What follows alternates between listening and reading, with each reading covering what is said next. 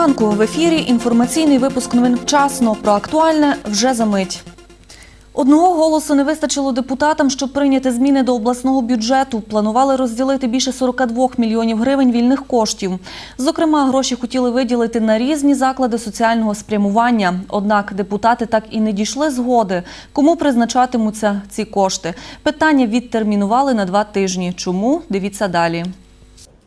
Ділити гроші завжди непросто. На сесії обласної ради головним питанням були зміни до діючого бюджету краю.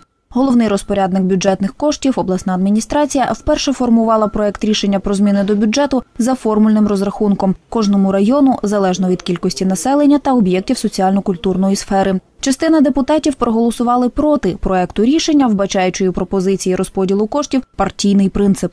Безперечно, я так само не голосував за зміни до цього бюджету, тому що рахую, що воно узкопартійно направлені. І використовувати виконавчу гілку владу просто використовується як засіб, в тому числі не надання грошей на потреби ті міста, де зараз потрібно. Залишок вільних коштів обласної казни на 1 січня поточного року склав майже 129 мільйонів гривень. На сесії депутати мали розподілити 42 мільйони на потреби окремих районів та на заклади обласного підпорядкування – медичні, освітні та соціальні. Депутати-мажоритарники виступили за перерозподіл залишків іншим чином. Група депутатів вважає, що необхідно було зробити не так, а необхідно було зробити, особливо депутати-мажоритарники, розподіл відповідно коштів на їх мажоритарні округа, там, де в них є ті чи інші певні проблеми, і які вони е, хотіли би перед виборцями закрити. І е, зрозуміло, що погодитися на таку ситуацію ні одна, ні друга група не могла. Аби побачити, хто з депутатів особисто проти пропонованих змін до бюджету, була ініціатива навіть поіменного голосування. Мною було внесено пропозиція для того, щоб зняти компроміс і бачити, хто є хто з депутатів, як голосує за конче важливі питання, які потрібні кожному району. І е, ми все ж таки дожмемо цей процес, щоб було персональне голосування кожного депутата за це важливе питання. І тоді люди зможуть дати оцінку е, не політичних процесів, а тих процесів, які відбуваються е, в обласній раді, саме в сесійній залі, кожним із депутатів як представниками від народу. Своє бачення розподілу бюджетних коштів висловили й представники опозиції. Моя пропозиція була прийняти е, зміни за основу зміни до бюджету за основу і розглядати кожне питання. Але як ми бачили сьогодні, в залі консенсусу не було. Тому е, я висунув пропозицію стосовно того, що доопрацювати ці питання в комісіях і уже на другому пленарному засіданні е, виступати е, з чіткою позицією. Врешті ані місцеві бюджети, ані окремі соціальні заклади поки грошей не отримали. Після перерви у ході сесії депутати проголосували за перенесення питання на наступне пленарне засідання 31 травня із надією на більш сумлінне відвідування. Цього разу при обговоренні бюджету пустували 13 депутатських крісел. Майже півмільйона гривень сплатять до державного бюджету мешканці Ужгородського району, котрі подали до податкової декларації про доходи за 2012 рік. Дві сотні громадян задекларували понад 15 мільйонів гривень. Найбільше грошей люди отримали від успадкованого та одержаного подарунок майна, від здачі нерухомості в оренду та від продажу квартир та будинків. Одержання іноземних доходів задекларувало четверо громадян на суму майже 600 тисяч гривень. Вони сплатять до державної скарбниці близько 80 тисяч податку. 53 громадян задекларували одержані інші так звані доходи, які підлягають оподаткуванню. Ну, серед них можна назвати такі, скажімо, може незвичні, але це теж як об'єкт оподаткування, як суми списаної заборгованості.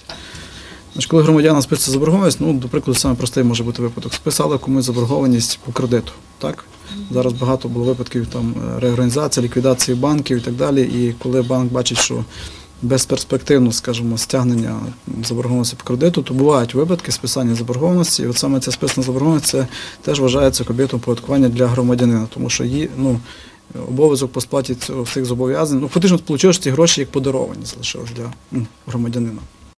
Мільярд гривень боргу мають виплатити українські підприємства своїм працівникам. Про це повідомили під час всеукраїнської селекторної наради, в якій взяли участь керівники міністерств, областей та найбільших підприємств-боржників. Зазначалось, зокрема, що 300 мільйонів гривень винні своїм працівникам економічно активні підприємства. З квітня сума боргу заробітної плати в Україні зменшилася на 3 мільйони гривень.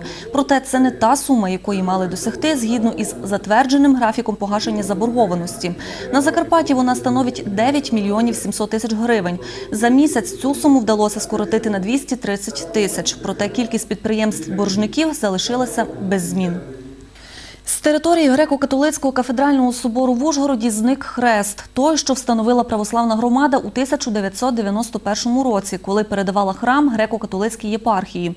Про це редакцію вчасно повідомив православний священник. На місці знімальна група з'ясувала. Хрест демонтувала греко-католицька єпархія. Поблизу встановили нове розп'яття. Пояснили, воно краще доповнюватиме інтер'єр скверу, який планують облагородити найближчим часом біля собору. Із представниками обох церков поспілкувалися і наші кореспонденти.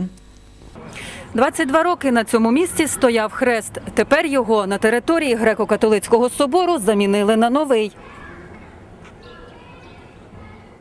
Саме цей факт обурив отця Віктора, священника православної церкви. Каже, сюди, до символу православ'я, навідувались віруючі, завжди за ним доглядали. Зрізали хрест, не попередивши православну громаду. Цим самим осквернили символ віри, вважає отець Віктор. Сподівається, більше такого не трапиться. Ми не маємо претензій до греко-католицької конфесії як такої. Ми не маємо претензій до людей, які туди ходять. Так, тобто ми разом живемо на Закарпатті. Так сталося, що в нас все помішано, і браки спільні між греко-католиками і православними. І ми не хочемо робити ніякої ворожнечі на цьому. Але ми хочемо те, щоб була просто повага до того, що дороге кожному з нас. Не зрізали та не знищили хрест, а демонтували. На цьому наголосив представник греко-католицької єпархії. Замість старого встановили нове розп'яття. Е, Хотів би в першу чергу запевнити, що це не є якийсь, е, скажімо, такий недобрий акт. З часом навіть такі речі, які для нас є святими, вони, вони нищаться і потім треба проводити або реставрацію, або заміну. Тому це є в першу чергу заміна. Зробили це в рамках реконструкції та облагородження території навколо кафедрального собору. Старий хрест греко-католицька єпархія планувала встановити на новому Ужгородському цвинтарі. Проте в нинішній ситуації підуть на зустріч представникам православної громади. Розп'яття православні заберуть і розмістять біля храму, що будується в мікрорайоні Шахта.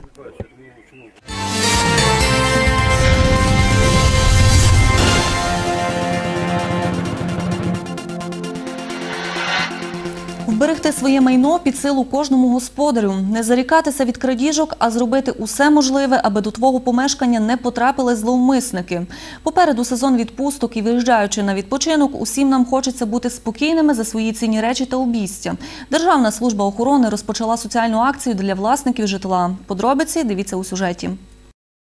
З початку року в області зареєстровано 318 крадіжок, розкрито всього менше третини з них. Усі випадки проникнення ставалися у помешканнях, не взятих під охорону. Фахівці запевняють, обікрасти квартиру, де встановлено сигналізацію, майже неможливо.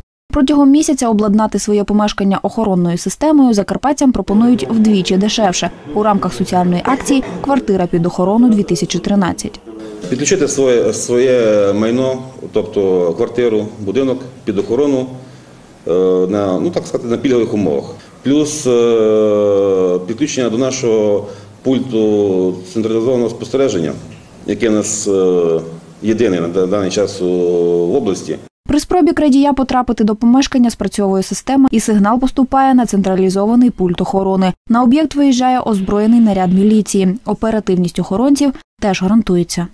У нас у місті в Ужгороді працюють дві групи затримання, у місті Мукачі працюють дві групи затримання. Тобто розділення йде по сторонам ріки. Маємо переваги, які наші машини мають світло- світлозвукові маячки, мають світлокольорові смуги. е, Це міліція, розумієте? Тобто, да, спецсигнали, машина включає, включаються ці маяки, і перевага на дорозі надається нашим працівникам Прибувши на місце спрацювання, група обстежує приміщення, у будь-якому разі повідомляє власника про сигнал. За статистикою, об'єкти під наглядом ДСО обкрадені не були жодного разу. Укласти договір про охорону помешкання можна, звернувшись до територіального підрозділу Державної служби охорони. В Ужгороді протягом п'яти днів безкоштовно перевірятимуть кров на цукор. З 20 по 25 травня на базі Ужгородської міської поліклініки усі охочі зможуть безкоштовно перевірити рівень цукру в крові, повідомляє відділ охорони здоров'я Ужгородської міської ради. Захід ініційовано в рамках проекту Майстерня здоров'я відділом охорони здоров'я Ужгородської міської ради спільно з обласним центром здоров'я. Обласний центр прийме близько двох тисяч спортсменів, які візьмуть участь у міжнародних змаганнях зі спортивного орієнтування. Кубок дружби 2013 цьогоріч проводитиметься на Закарпатті. Вперше всесоюзні змагання відбулись 50 років тому у селі Кам'яниця поблизу Ужгорода. Тоді успішне їх проведення стало поштовхом для розвитку нового виду спорту, такого як спортивне орієнтування. Що чекає на учасників цьогорічних змагань, знають наші колеги. Кубок дружби, присвячений популяризації спортивного орієнтування, є очікуваною подією в області. Заявку на участь вже подали спортсмени країн колишніх республік СРСР, а також орієнтувальники з Польщі, Угорщини та Словаччини. Особливість спортивного орієнтування в тому, що цей вид спорту не має вікових обмежень. Організатори сподіваються, що матч дружби пройде на високому рівні, адже область готова показати учасникам та гостям всі туристичні можливості. Ці змагання не е, лише змагання між е, індивідуалами, це все ж таки е, показати нашу область, наші можливості, туристичні можливості, які е, потім в перспективі зможуть прийняти цих же спортсменів або їх чи дітей, чи в всякому разі, я думаю, про нас розкажуть у цілому світі. Тим більше, що Федерація спортивного орієнтування представляє сім- 74 країни. На Закарпатті спортивне орієнтування активно розвивається. Чимало прихильників цього спорту беруть участь у всеукраїнських та міжнародних змаганнях. На заході зазначили, що закарпатські спортсмени готові достойно представити область на Кубку дружби 2013. Найстрункіші та найпластичніші дівчата приїхали позмагатися до Ужгорода. Вже в 14-те тут відбувається міжнародний турнір із художньої гімнастики «Сакура Закарпаття». Протягом двох днів у спорткомплексі «Юність» свою майстерність демонструють дівчата із шести міст України. На відкритті турніру побувала і наша знімальна група. Хто гнучкіший і граційніший за всіх визначають в обласному центрі. Художні гімнастки від 6 до 16 років змагаються за звання кращої на дводенному турнірі Сакура Закарпаття.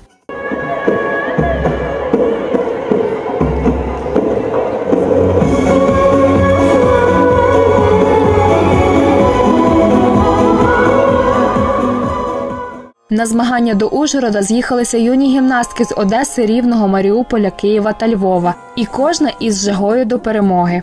Мне очень понравилось выступать, и я, мне, по- мне, мне кажется, что я очень хорошо виступила. Коли я дуже хвилююся, в мене нічого не виходить. А коли я спокійна, то я займаю перше і друге місця. І мені не важко нічого робити. Складність цьогорічного турніру полягає в тому, що 2013-го в Україні ввели нові правила в художній гімнастиці. Тож і тренерам, і спортсменам довелося змінювати стилістику виступів. Раньше художественная гимнастика больше напоминала спортивную работу такой. То есть надо было большую гибкость иметь, супер растяжку, очень много и меньше всего артистично двигаться, то есть э, танцевать, да. Сейчас эти правила позволяют гимнастке больше э, танцевать, э, артистизма добавили, м, добавили м, э, грациозности больше и меньше, получается, теперь девочки будут иметь травм. Нові правила змусили конкурсанток наполегливо тренуватися вдома, щоб на змаганнях відповідати всім оновленим вимогам. Ледь не кожен день дівчата проводили у спортивному залі, вдосконалюючи свою майстерність. Я тренуюся, тренуюся шість разів в тиждень, деколи і в неділю теж, коли якісь там серйозні змагання, е, чотири або по дві години. На турнірі вистачало роботи не лише спортсменкам, а й суддям. Цього року вони й самі пристосовуються до нових правил у гімнастиці. Розповідають, що оцінювати дівчат справа нелегка. Оцінюється технічна підготовка, е, предметна підготовка, а також е, хореографія, тому що зараз повинно бути танцювальні дорожки в правах. Організатори зазначають, що подібні турніри хороша нагода для гімнасток і їхніх тренерів поспілкуватися між собою та обмінятися досвідом. Такою була інформаційна картина цього ранку. Дякую вам за увагу і приємного дня.